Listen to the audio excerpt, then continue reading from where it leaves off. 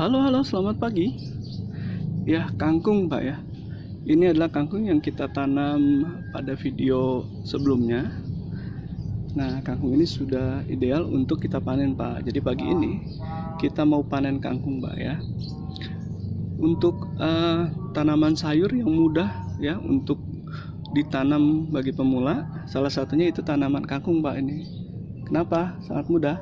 Karena untuk daya tahan tanaman ini terhadap hama itu cukup kuat ya. Kita lihat pak di sini tidak ada hama. Tanamannya sehat terus cepat sangat cepat pertumbuhannya. Jadi kalau kita bandingkan dengan tanaman caisim putih kita ya atau sawi putih kita ini nah ini umurnya hampir sama dengan tanaman kakung tapi ini tuh masih ini ya masih belum bisa kita panen. Terus mudah terserang hama ini pak ya. Sering dimakan ulat atau apa ini daun-daun. Daunnya eh, bolong-bolong ya karena kita menggunakan pola penanaman tanpa pestisida ya. Jadi rentan dimakan hama. Tapi tetap kita rawat kita lihat nanti seperti apa hasilnya. Jadi pagi ini kita akan mulai dengan memanen kangkung. Kita siapkan ember untuk wadah media tanamnya. Jadi pola panennya kali ini kita nggak gunting ya tapi kita cabut seperti ini biar media tanamnya nanti bisa kita pakai lagi. Nah seperti ini aja pak. Sebentar kameranya saya geser. Ya. Medianya bisa kita simpan lagi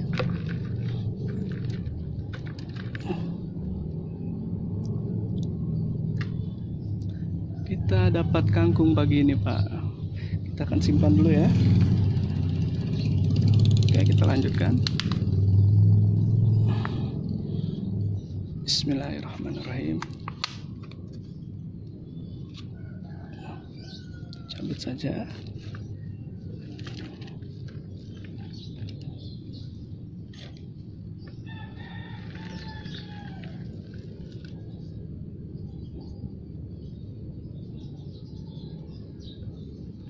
Nah ini dia Pak. Kenapa tidak kita gunting? Agar media tanam ini Pak ya bersih dari akar. Jadi nanti bisa kita gunakan lagi.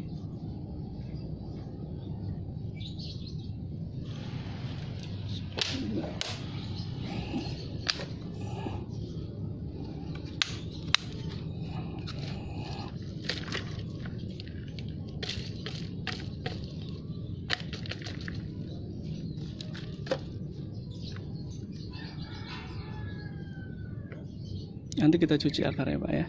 Kita lihat seperti apa.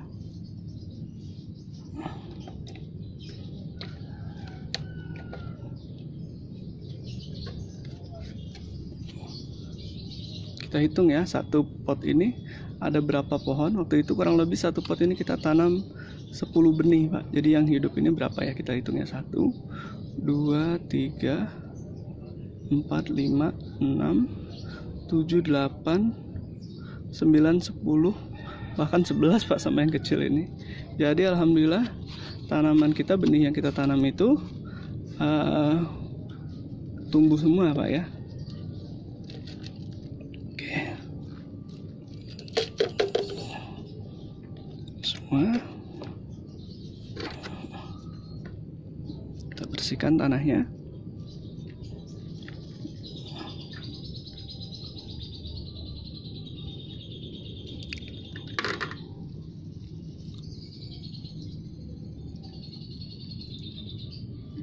seperti ini pak ya.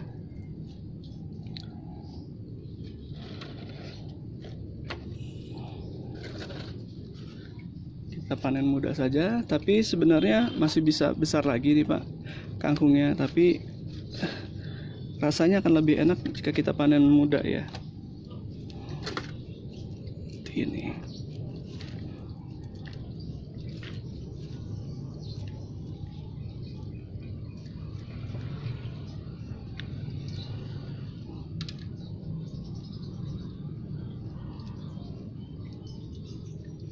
terus eh, sayuran jika kita jika kita panen lalu kita masak gitu ya masih keadaan segar itu rasanya agak agak agak beda ya.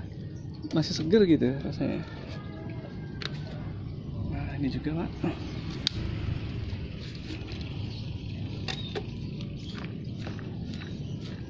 Ya, cukup kita goyang-goyangkan seperti ini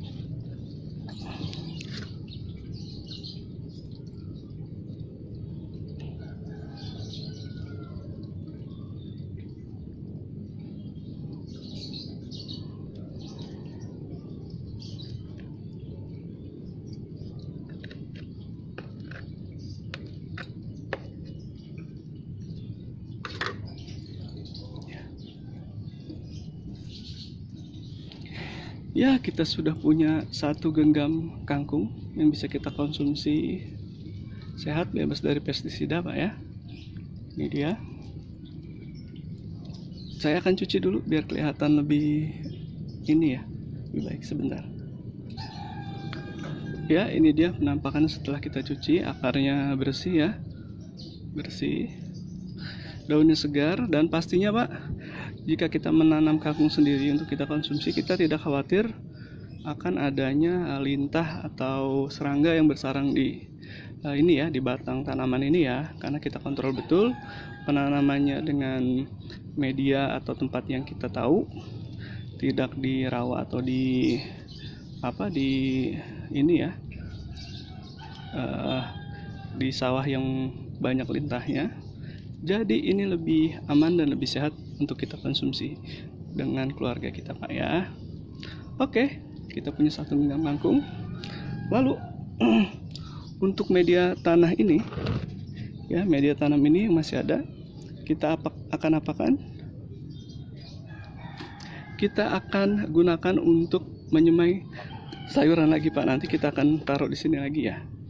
Nanti kita lihat video selanjutnya. Terima kasih buat teman-teman yang sudah menyaksikan video ini. Uh, silahkan diikuti uh, untuk video selanjutnya dan perkembangan tanaman kita ya. Nanti akan saya buatkan videonya. Buat yang suka silahkan di subscribe like share dan di komen ya untuk masuk masukannya selamat pagi selamat beraktivitas. Sampai ketemu lagi. See you